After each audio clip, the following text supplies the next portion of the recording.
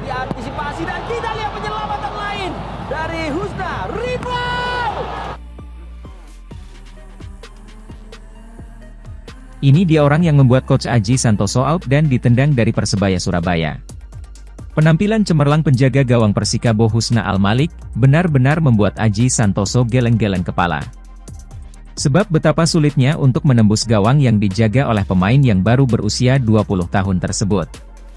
Tercatat ada beberapa save krusial yang seharusnya sudah hampir 99% gol, tapi masih mampu dihal oleh kiper yang menggantikan Syahrul Trisna tersebut. Persebaya Surabaya yang membutuhkan kemenangan, harus tertinggal lebih dahulu 0-1 di babak pertama.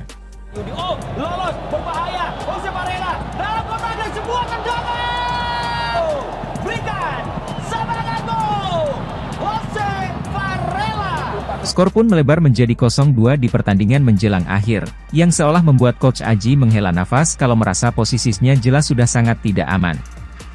Ultimatum 7 poin di tiga laga jelas sudah tidak mungkin tercapai, jika kekalahan ini terjadi. Namun anak asuhnya sempat memperkecil skor di injury time jadi 1-2. Tapi hal itu tidak bisa menyelamatkan Persebaya Surabaya dari kekalahan di kandang sendiri. Persebaya Surabaya pun akhirnya harus mengakui keunggulan Persikabo dengan skor akhir 1-2. Kekalahan ini pun jelas sudah difikirkan oleh Coach Aji Santoso. Terbukti beberapa jam setelah laga itu langsung ada info kalau Coach Aji Santoso secara resmi diistirahatkan dari kursi kepelatihannya di Persebaya.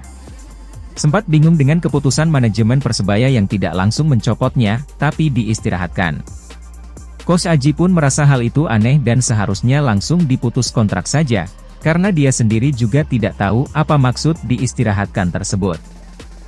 Sungguh ironi, sang pelatih lokal berkualitas akhirnya sedikit demi sedikit sudah tidak terpakai dan tersingkir di ajang Beri Liga 1 kali ini. Nyaris hanya tersisa Coach Rahmat Darmawan di Barito Putra yang masih bertahan hingga saat ini, dan Joko Susilo di Arema. Sedangkan 98% lainnya kursi kepelatihan dipegang oleh pelatih asing. Dia menurut kalian,